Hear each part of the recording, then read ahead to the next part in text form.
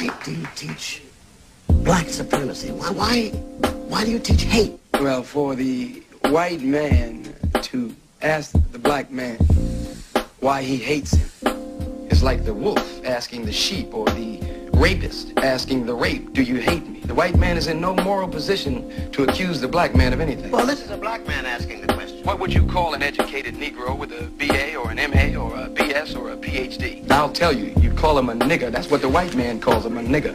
You have to understand this type of thinking. And under, to understand this type of man, you must understand that historically, there were two types of slaves. The house Negro and the field Negro. Now, the house Negro, he lived in the house, next to his master, in the big house, either in the basement or up in the attic. He dressed pretty good, he ate pretty good, what the master left him. He loved his master. I say he loved his master better than the master loved himself. If the master said, we got a nice house here, he said, yeah, boss, we got a nice house here. Master's house caught on fire, the house Negro would be the one who'd run to put the blaze out. If the master got sick, he said, what's the matter, boss? We sick? We sick. You see, this is the thinking of the house Negro.